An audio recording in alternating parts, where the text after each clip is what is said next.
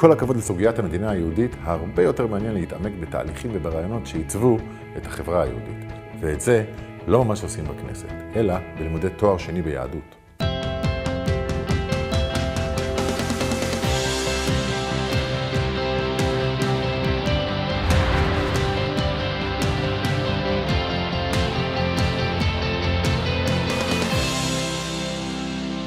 שלום לפרופסור אה, טובה הרטמן. שלום. מהו לדעתך הדבר שהרבה יהודים לא יודעים על יהדות? אני חושבת שהדבר הכי חשוב שהם לא יודעים על יהדות, היא שיהדות שייכת לכולנו. יהדות איננו ארון ספרים נעול שיש רק למתי מעט המפתח. ואכן הרבנים אומרים שתורה מונחת בקרן זווית, כל הרוצה ליטול, יבוא וייטול. פרופסור הרטמן, מה למעשה מציעה התוכנית לתואר שני ביהדות? למה ללמוד אותה?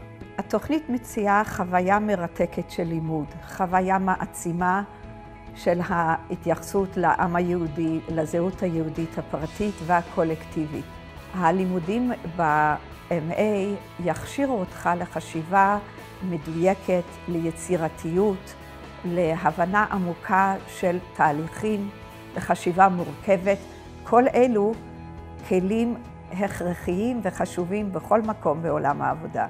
מעבר ל-MA, הסטודנטים ילמדו הנחיית קבוצות ויקבלו תעודה של הנחיית קבוצות, וחתומים על התעודה הזאת היא הקריה האקדמית אונו ומרכז ארווינג יהלום המוכר בכל העולם. מי הוא קהל היעד שלכם? הלימודים האלה מיועדים לכל אדם שרוצה להתעמק בשאלות של זהות יהודית ומורשת ישראל. הקהלים המובהקים הם מורים ומורות שיהיו סוכני חברות גם במערכת החינוך הפורמלית וגם במערכת החינוך הלא פורמלית. הם מיועדים לכל אדם שעובד בשירות הציבורית ומעוניין ב-MA ולהתקדם בעבודה, כשהוא יוכל לבלות אז שנה שלמה בשאלות יסוד של הזהות שלו. מה בעצם מיוחד בשיטת הלמידה שלכם? שיטת הלימוד היא אה, שילוב של מספר שיטות לימוד. בבוקר יהיו הרצאות רגילות, אבל אחר כך הכיתה תהפוך להיות בית מדרש, שבו תהיה לימוד בחברותות, בקבוצות קטנות. אנשים יתפתחו גם בזוגות, גם בקבוצות קטנות, כמובן עם הדרכה של מרצים. ספרי לי איזושהי תועלת רגשית שכל אחד יכול לקחת מלימודים מהסוג הזה. אני חושבת שכל אדם שירצה ליטול מזווית של תורה, מוזמן לבוא ללמוד אצלנו בקריה האקדמית אונו.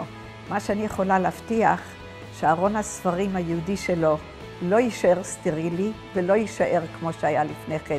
יתווספו לו ספרים עתיקים ואף חדשים.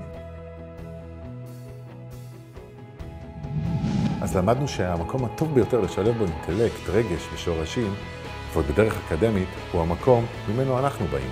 כי בענייני לימודים, תמיד אפשר לסמוך על הראש היהודי.